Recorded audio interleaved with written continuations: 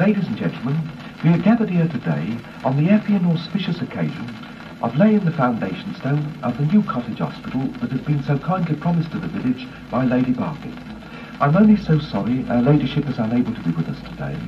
but you may or may not know that her ladyship was only let out this morning, and the doctor of the home told me in confidence that she may find the strain of financing the hospital too much for her, as she's still very busy with the three cathedrals, the railway station and the ornamental bathing pool, which she promised to the Mayor of Peacehaven before she was actually certified, well, well, earlier in the year.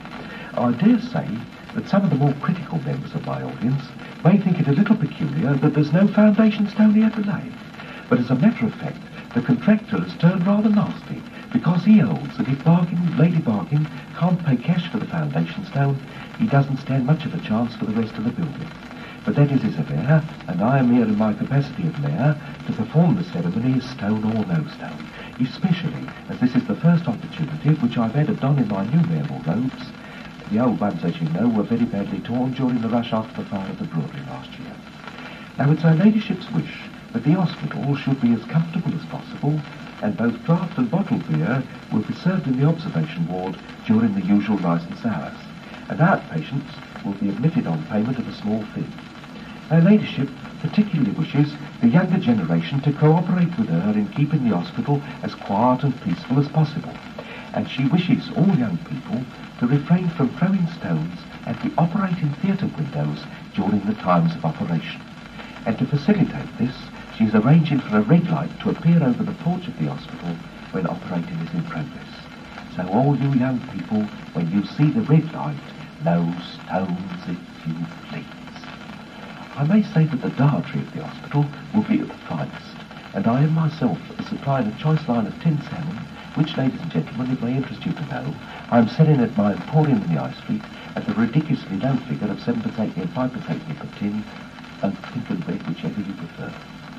I may say that I am myself somewhat of an authority on tin salmon, and as you know, I've spent a lot of time studying the habits and habitats of this succulent and elusive denizen of the deep in its river haunts.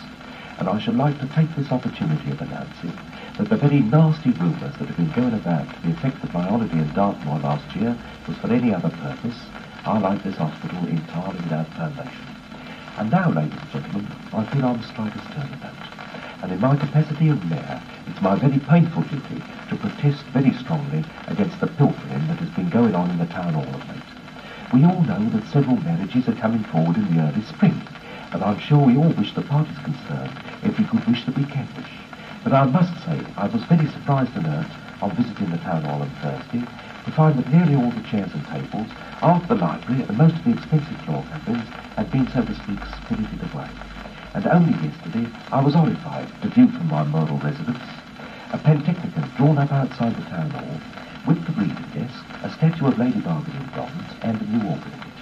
And without casting aspersions where they are not due, I may say that I noticed this morning that the pipes that have been laid in the High Street look surprisingly like the pipes of a new organ, and I can only ask the town council to return their ill-gotten drains at the earliest possible moment. I'm only so sorry the Lady Mayoress cannot be present on this happy occasion, but unfortunately she met with a nasty accident on Tuesday last after the sewing bee at the King's Head, when she fell down the front steps and sprained her face.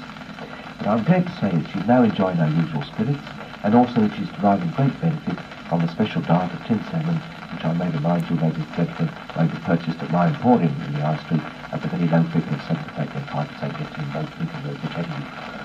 and now, ladies and gentlemen, I have much pleasure in declaring this ground well and truly prepared to receive the foundation stone, which I hope to have the pleasure of laying whenever Lady Bargain can get her hands on the ready